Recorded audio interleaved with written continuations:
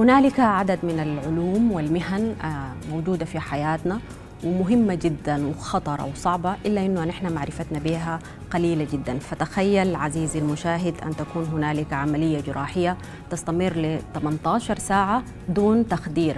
مستوى الألم الممكن يعيشه الإنسان عالي جدا. التخدير واحد من العلوم الطبية المهمة جدا إلا أنه آه، طبيب التخدير جندي مجهول أن إحنا ما بنعرف آه، يعني قيمة الطبيب التخدير إلا إنه أن إحنا نمر آه، بجراحة دون تخدير.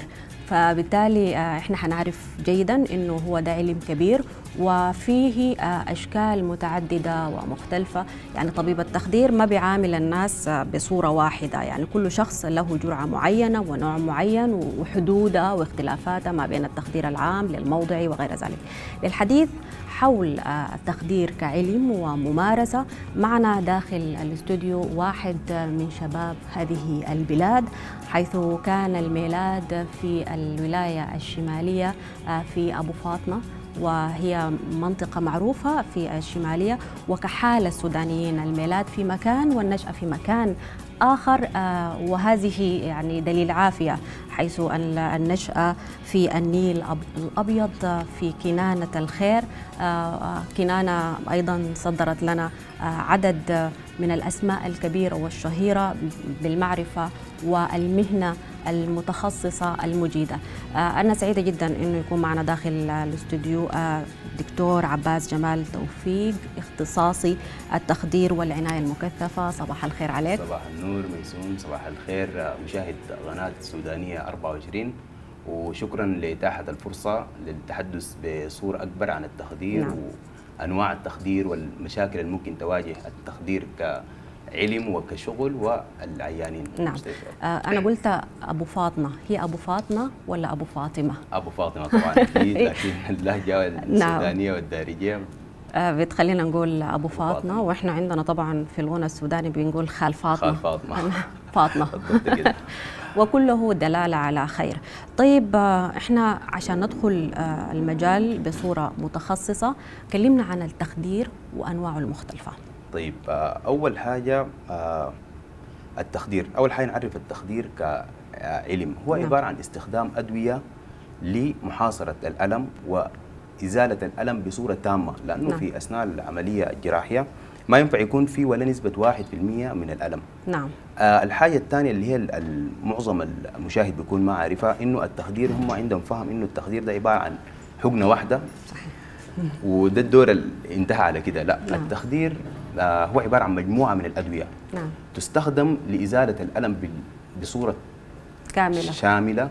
نعم. دي الحاجة الأولى. الحاجة الثانية عندنا إنه فقدان الوعي إنه العيان يكون نايم أثناء العملية وفي نفس الوقت يكون ما متذكر الأحداث اللي حصلت أثناء العملية دي حاجة مهمة شديد في دواء مخصوص للحاجة دي نعم. إنه أنت ما تتذكر الأحداث يعني إنه مثلا تسمع آه المشرط الجرح الدم طبعا. الحاجة دي في حاجة بتفقدك الوعي لفترة مؤقتة مم. أهم شيء كلمة فترة مؤقتة لأنه في ناس عندها فهم إنه تخش في غيبوبة وثاني ما بتطلع منها والحكايه نعم. دي؟ طيب يا دكتور آه أسي أنا لأول مرة أعرف إنه التخدير مجموعة من الأدوية. كنت قايلها حاجة واحدة بالضبط كده. وهي مختلفة. أغلب يعني ده ما الدريب اللي بتدونا ليه لا لا كده يعني لا لا هي, هي مجموعة من الأدوية في الدواء الثالث اللي هو مرخي العضلات نعم. اللي هو انت أثناء العملية نحن ممكن نشيل الألم ونفقدك الوعي لكن العضلات ممكن تتحرك يعني أنت حسي نايم في البيت أنت ممكن تتقلب في السرير يمين وشمال نعم. إحنا عندنا أدوية والدواء يعني فيه كم نوع بينفع مع ده وما بينفع مع ده حسب الحاجات اللي بنشوفها من التاريخ المرضي بتاع المريض وكده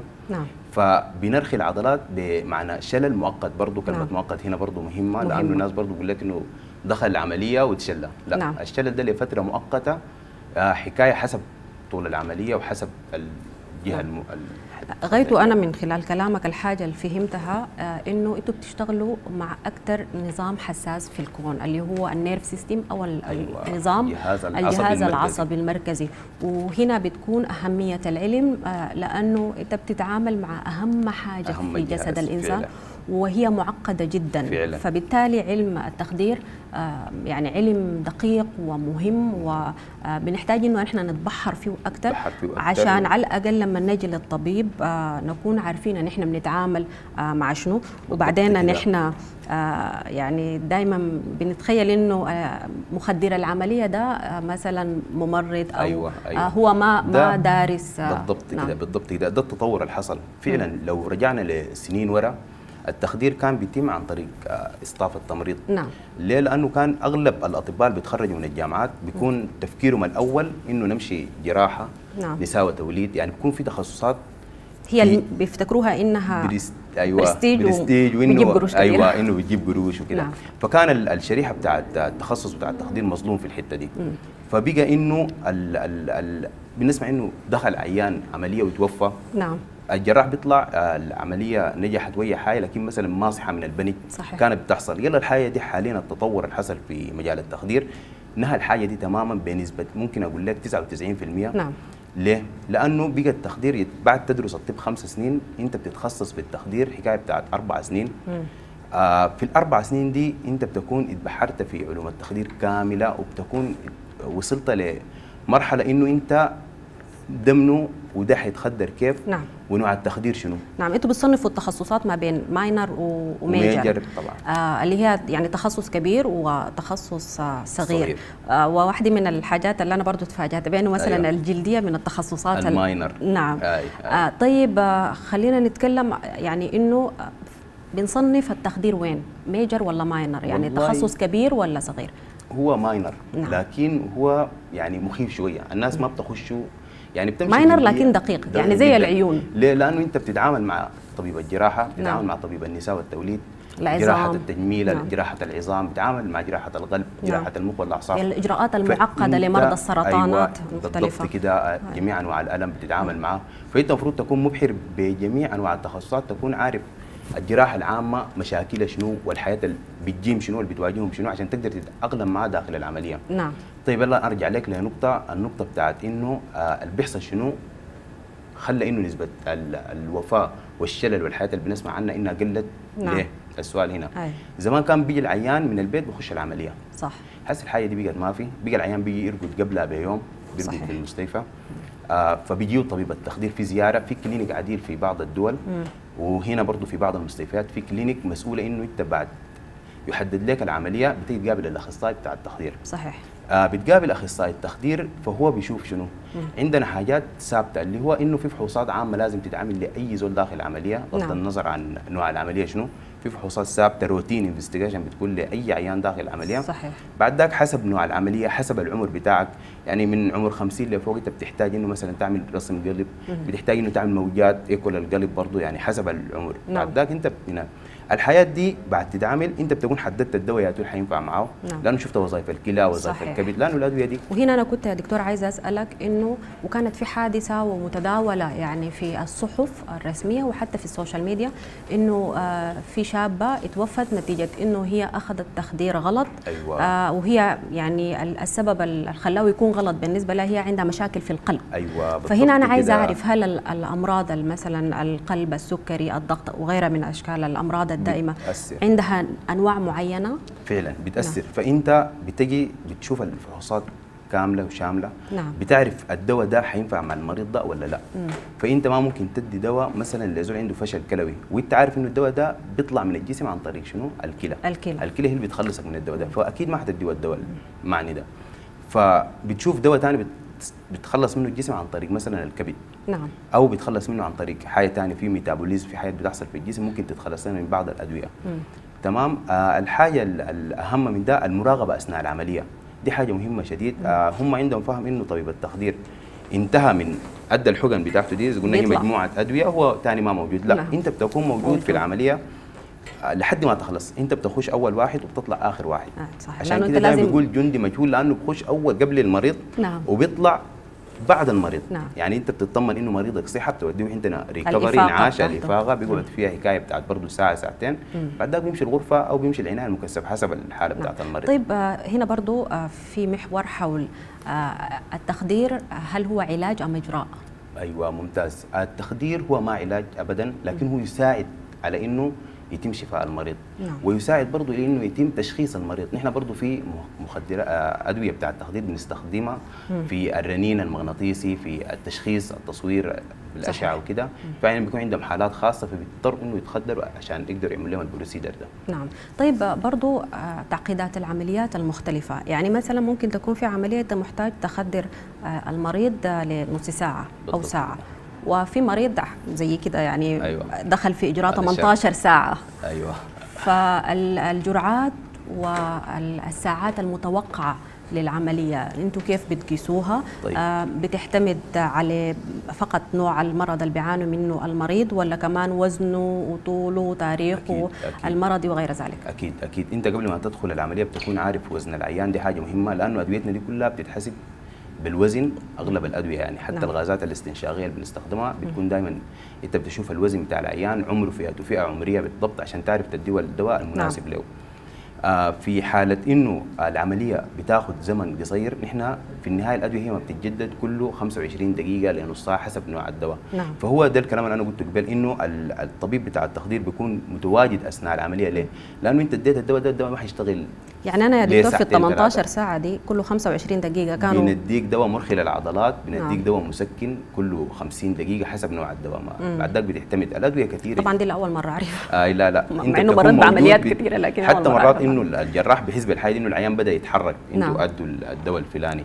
وعندنا monitor يلا نجي للحتة بتاعت ال- المراقب ده المراقبة. المراقبة دي أنت أي عيان داخل عمليه أنت عندك جهاز آه استشعاري. استشعاري لضربات القلب في كل دقيقة. الضغط كل دقيقة لازم نعرف ضغط العيان كم لأنه لو حصل لنا نزيف أثناء العملية أو حصلت أي مضاعفات أثناء العملية تقدر تتدافع.